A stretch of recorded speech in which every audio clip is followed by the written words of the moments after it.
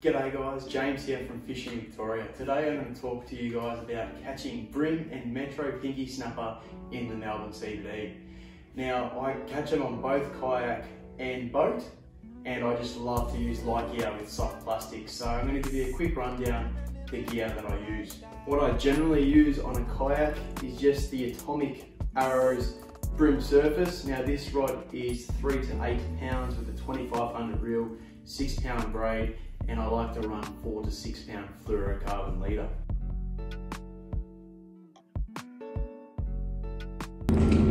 Oh, that's a nice fish, that one. Nice fish.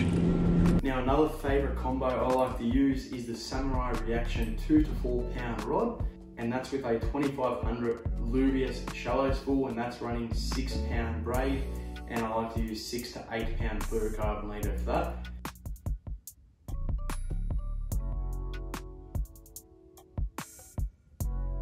I'll run a quick clip below, just keep watching to see this combo in action, just smashing some CBD pinkies off the little boat. Awesome fun, so check it out.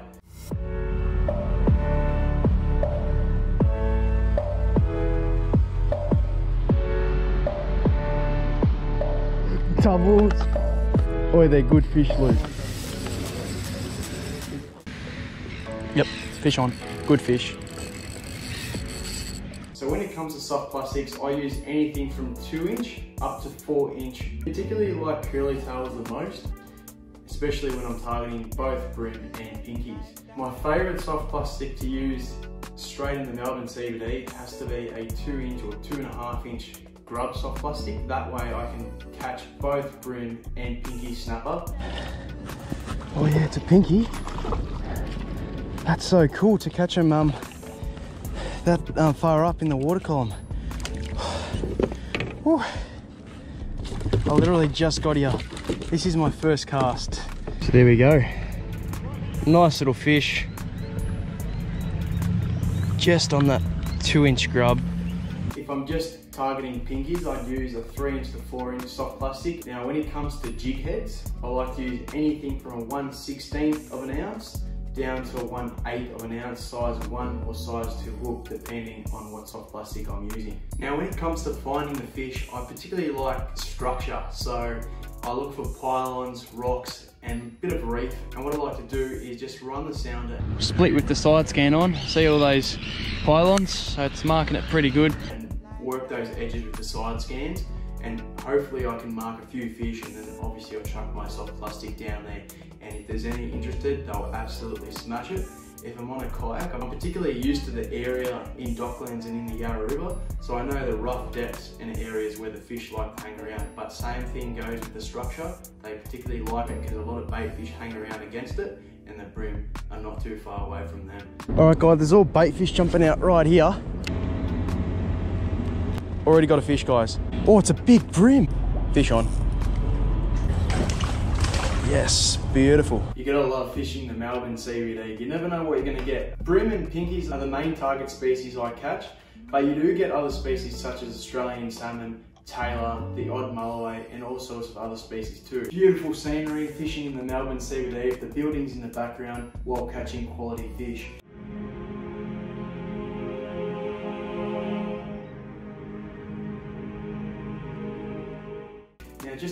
Fact, majority of the time, the first two meters of the water column in the Yarra River is fresh water, underneath that is salt water, depending on the rainfall of course. So if you're chasing those pinkies, since they like the more salt water, let that soft plastic sink down and um, you'll definitely find them down there. So generally it's around 12 meters of water in Docklands. So I recommend using anything from a 1 12th to 1 8th of a jig head and that will definitely get you down there. Where's the plastic gone? Right down there. That is another beautiful black bream. Look at that. What an awesome fish. You just engulf that plastic. Stoke with that. So that's about, I've got about three or four fish now, and that's the second solid bream. So when it comes to fishing the Melbourne CBD just in general, particularly when you're chasing pinkies, they do move around a lot. So they school up and it's very important to cover a lot of ground and structure where those fish can hang around. Oh yeah, that's a better fish. That's what we want. But when it comes to the bream, all they like is just structure. So pylons and a lot of mussels like to grow along these pylons and these fish love eating them too. So if you can find those pylons with mussels on them, and particularly on a clear day, just get your polarized sunnies and you can see those fish. Chuck your soft plastic in it or your little lure and have a good crack at them because um, it's awesome fun guys just sight casting and sight spotting these fish. However these bream are very fussy most of the time so it's always good to downgrade your leader down to 4 pound. Fluorocarbon leader is very good because it's just about invisible in the water for these fish and if you can get that jig head to be as light as possible with hiding the hook as much as you can then that's another bonus. And it's all got to do with how you work your soft plastic too. Just hit the bottom now. A few small twitches with a slow retrieve.